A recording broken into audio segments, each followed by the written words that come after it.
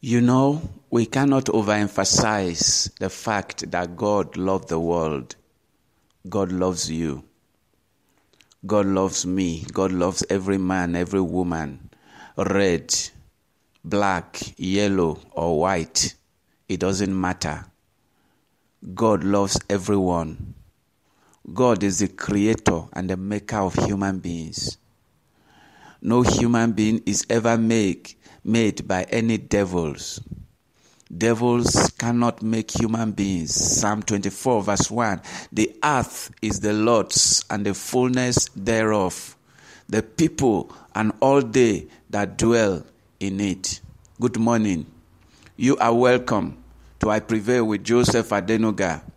As usual, the Almighty God, the creator of the heavens and the earth, your Father, my Father, I've put another word in my mouth this morning to encourage you, to motivate you, to inspire you, and to bless you.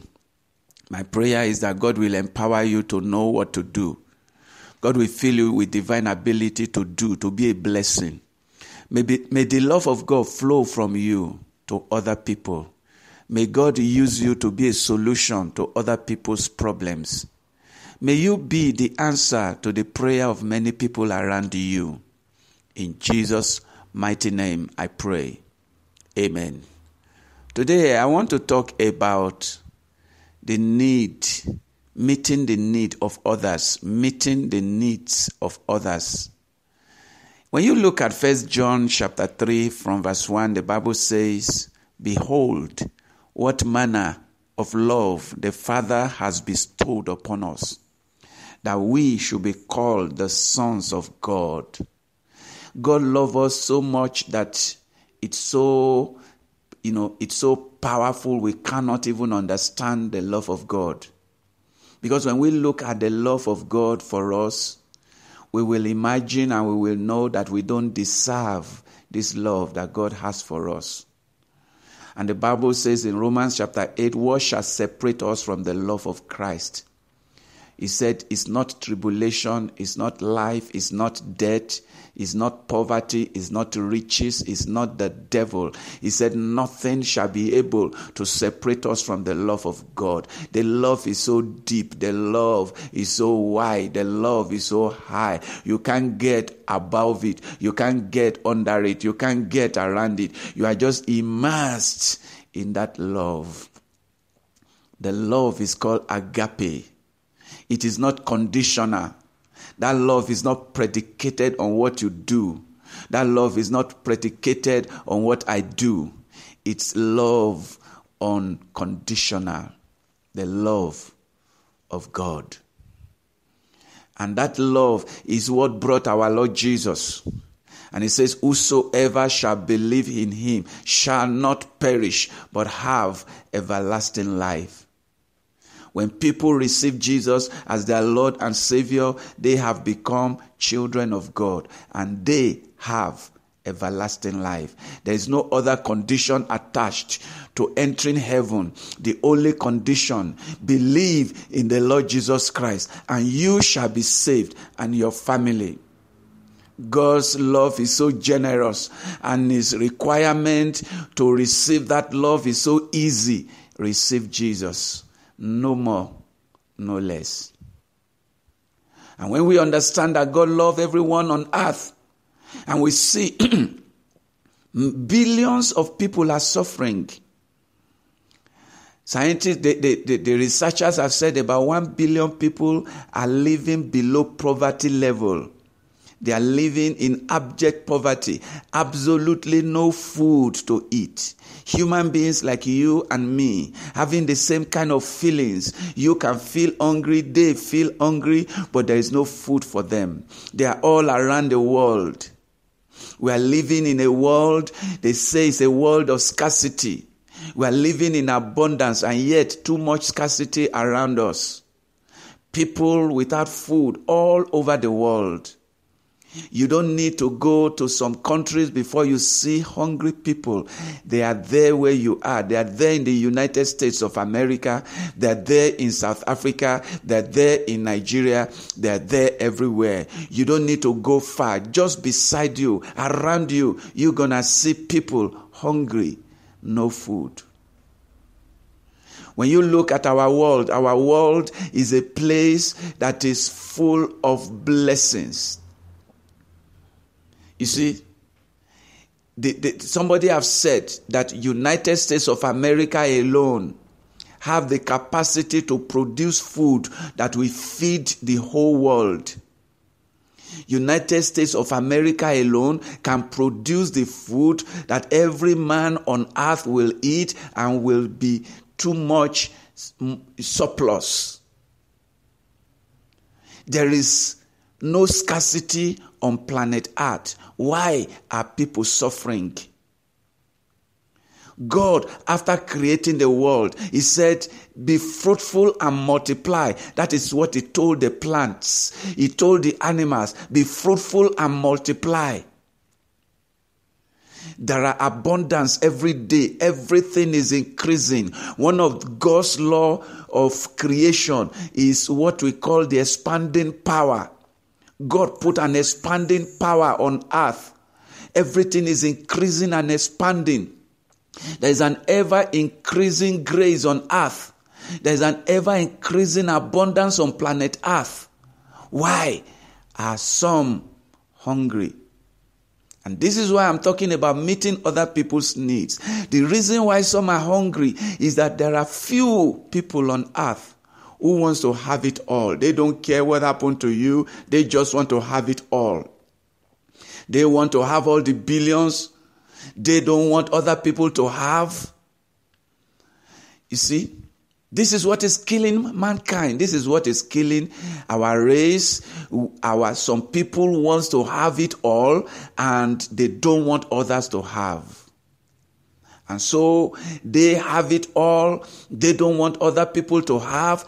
How does that concern you this morning? Let me tell you, this is how it concerns you. God wants you to rise up, to be a voice. God wants you to rise up, to be a tear wiper. God wants you to rise up and be the supplier of somebody's need. We must begin to be our brother's keepers. We must begin to reach out to the poor. We must pray to God, Lord, I see people dying of hunger. Use me to be a provider. Use me to be an answer to their prayers. So many people are getting extinct because there's no one to care for them. You know that people are looking for leaders. So, how does this concern you? There are three things God is putting in my heart. Number one, you need to begin to pray for those people who are suffering. You need to begin to pray for those people who don't have food. You need to begin to show your concern. You need to get aware of this that I am eating food right now. What of those who don't have food? I am blessed right now. What of those who are not blessed? I can take my children to the best school. What of those who cannot even take their children even to the government school where they won't pay? But they will have to buy their uniform. They don't even have money. When you begin to think about them, when you begin to pray for them, God will begin to empower you. God will begin to give you vision on what to do to help them. Pick up an interest. You see, those who don't have interest in other people are those they just go, they see somebody begging, they say, No, this one is lazy, I don't care about him. They just go about their way. You will have money, you'll be okay, but there are some blessings you will be missing. You'll be missing the blessing of seeing somebody laugh, somebody who was weeping. You will miss the miracle of seeing a weeping child laughing. You will miss the miracle of having the need of somebody met. You will miss the miracle of giving. There is power in giving. The Bible says it is more blessed to give than to receive. So, what do you do? Number one, pick up interest, begin to pray for them. Number two, then when you begin to pray for them, God will begin to show you vision, what you can do, how to increase and multiply your income. Then your money will begin to flow. Because as you think about them, as you give the little that you have, God will begin to multiply the rest in your pocket, and God will begin to make you a blessed person. And you begin to reach out for more people. And as you reach out for more people, you continue to do better. And as you help other people, you will see yourself being helped. You will see your problems vamoose. God will take care of your problem. Why? Because you have taken care of the problem of other people. In conclusion, I want to tell you because of these things that is happening, never shun a poor man, never look down on somebody who is not well to do, never talk about them, never look them down, never talk them down, never turn them down. Don't turn them back. Whatever you can do, do. Don't ridicule poor people. Don't talk them down. You are where you are by the grace of God. You are not smarter. You are not better. You are not more intelligent than some of them. I spoke with somebody. The way that person was speaking, I knew this one is very intelligent. What is happening in his life is unfortunate.